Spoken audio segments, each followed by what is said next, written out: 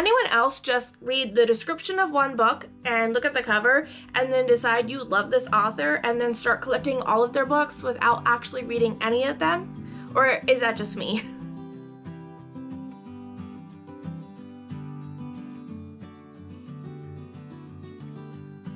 We're going to discover if I truly love Catherine Walsh the way I think I do in this vlog.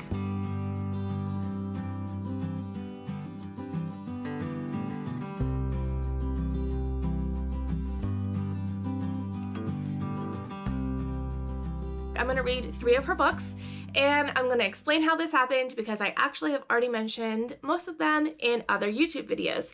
So first I'm in the Spivey's book club on Facebook. I think I can link it below. If I can't then I'll just put the name so you can search it. But they do book exchanges a couple times a year. So you make a wish list of books you want, someone draws your name, they pick a book off your list, send it to you. I was looking for holiday themed books and I found Holiday Romance by Catherine Walsh. So I added it to my list and that was the first time I'd ever heard of her.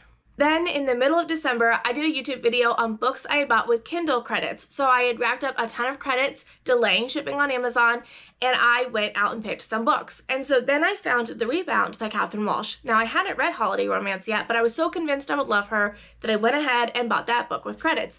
I will link the vlog that I'm talking about below and in the cards.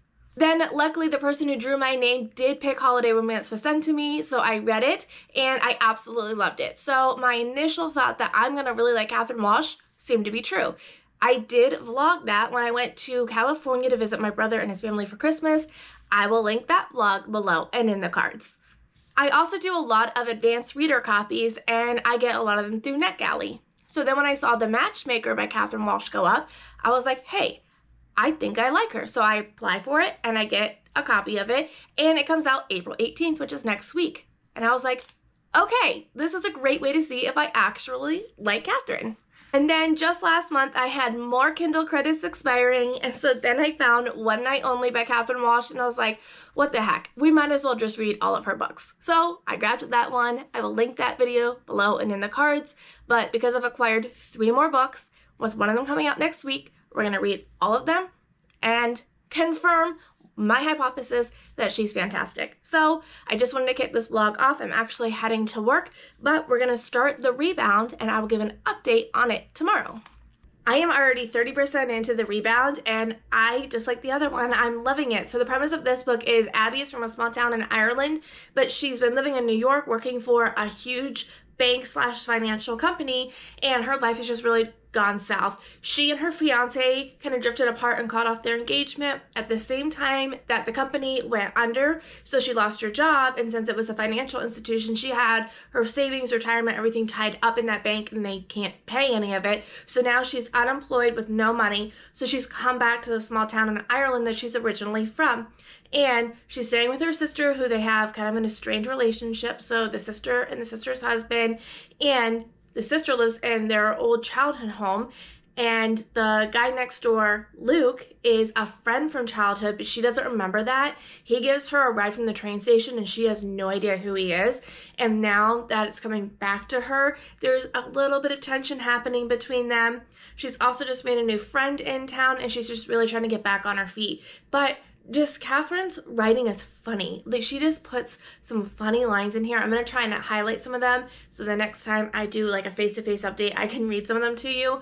But I'm feeling kind of like blah right now and I have to go to work. So I'm going to show you what I do on these days. I'm going to set up my little reading tray with cozy pajamas, my book, some tea. That way basically I can come home, eat dinner, and get in bed. Maybe take a shower and then get in bed. So let's go set up my tray so it'll be ready for me when I get home.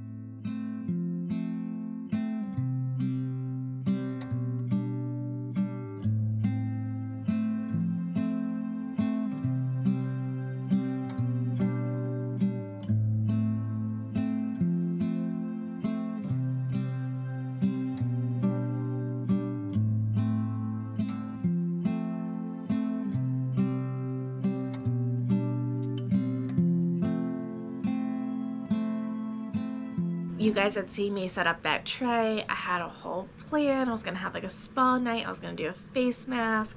I was going to read in my cozy giant bed. And um, yes, when I came home from work, our sweet little girl, Hobo, she's not doing too well.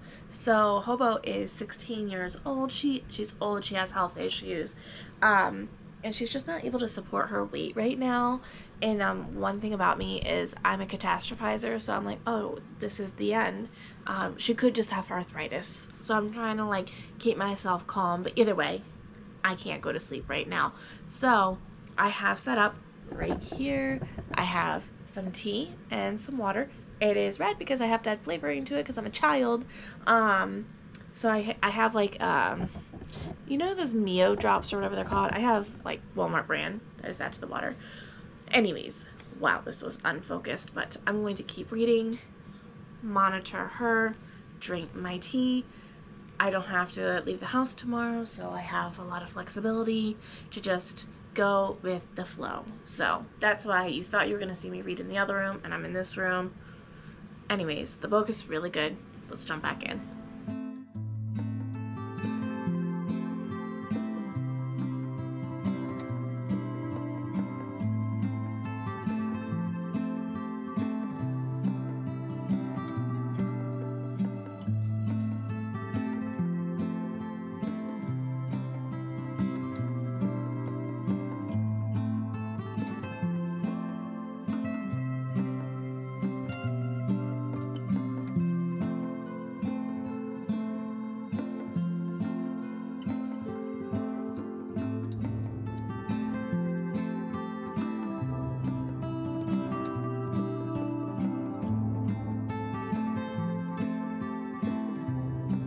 I just got out of the bath. I'm going to put on a quick face mask and I wanted to give you guys an update. I've read about 65% of the book. I have like an hour and a half left and I am really enjoying it. There's just something about her writing that is so funny. And so this book definitely is kind of like a slow burn and like I don't want to give anything away, but I will say so they start to Abby starts to build a relationship and then her friend was like oh, I like him. And then she's like, oh man, like I just made a friend in this small town. I don't want to like sabotage their potential relationship. So she backs off. Obviously, he doesn't know that. So he's like, why did you cool the jets? And so there is a little bit of back and forth tension, but I am really enjoying the story. I can't remember from Holiday Romance. I don't think we get any spicy scenes in this book, but it is still like a fun contemporary romance. So I'll read a little bit tonight. I'm to try and finish it tomorrow morning. I'll check in with you guys. I have a baby shower tomorrow at 4. Nothing else going on. So we'll definitely be able to finish the rebound and then start the second one. But so far, still a massive fan of Catherine Walsh.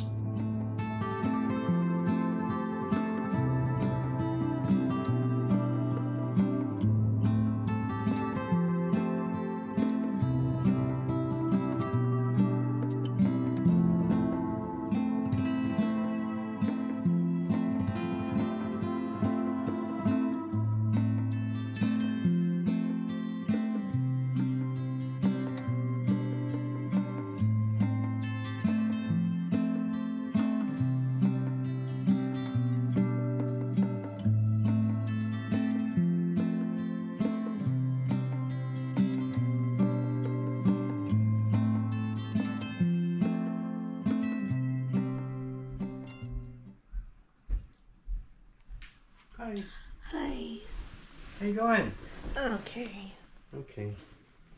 Thank you. What's the lead? I don't have my voice, which is why my husband brought me a Slurpee. So sweet. Make this really fast. I finished the reunion. I loved it. I'll tell you about it when I have my voice back. So we're going to dive in to One Night Only, the second book of the vlog. So you'll just see me reading, and hopefully when I finish it, I can talk again. Sorry, you guys are kind of far away. This is my last day at home. I have to go back to work tomorrow. I am feeling better, but I'm trying to take it really chill today. So I went to Walgreens and got some Mucinex, which is helping. And I might have gotten Dunkin' on the way back in. So I've got Buster, Hobo, my book, my weighted blanket, and we're just gonna have like a chill afternoon. I'm just trying to take it easy so that way I'm ready for the work week. So this book is really good. All of her books are really good, and I promise I'll give an update on them when I can talk a little bit more clearly.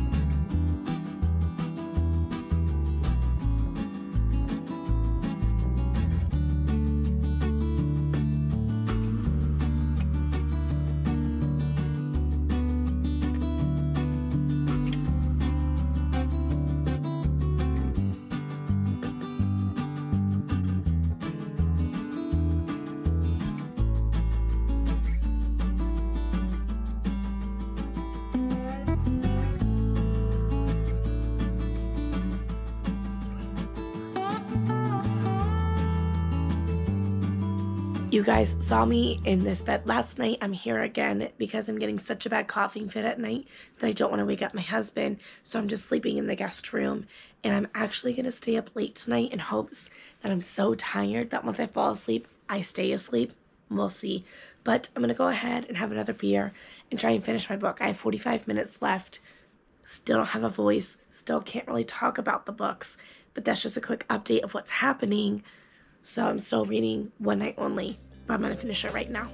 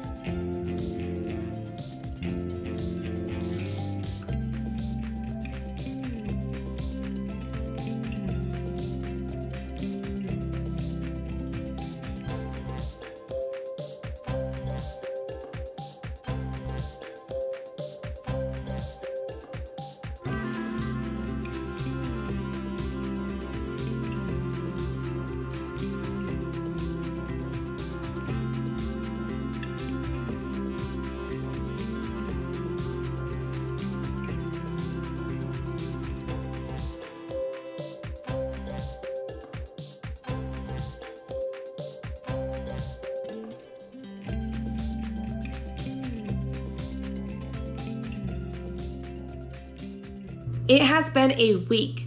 I lost my voice last Saturday. It's now Saturday. I still don't have it. And I really want to tell you guys about these books. So we're just going to go forward. I hope you can understand me. Catherine Walsh. I love the way she writes her characters. And I feel like she does a really good job of building their personality. And I'm going to read this to you. And I feel like some of you are going to be like, it's not that funny. But I just love it. So in this chapter, well, in this book, I'm reading The Matchmaker. She works at a bar and she's working on cocktails. Now, the owner of the bar, Adam, isn't really into cocktails, but she says like she can only post so many pictures of pints of beer before it gets boring. But then she does go on to say that they have a healthy 78 followers on Instagram, though one of them is her, and another account she set up for Plankton the cat, but they still count. And I just feel like adding something like that, like that's something I would say, you know, like oh, I might only have like 100 followers, but there's still 100 followers. Like, I don't know. It just kind of adds like this element of realness to the character with like that inner dialogue that just makes me really like I can picture actual people running like tiny Instagram accounts saying that. And so I just feel like like these are actual lives that I'm watching. And that's why I love these books so much. So I'm gonna dive back in I don't feel confident I'll have my voice back by the end of this vlog. Also, I just filmed another one that will be out by the time this one comes out. I'll link it in the show notes. Don't have a voice in that. Will I ever have a voice again? Yes. Think positively, Nicole. But anyways, I'm gonna go back to drinking my cider, which is not helping with my voice, and read my book.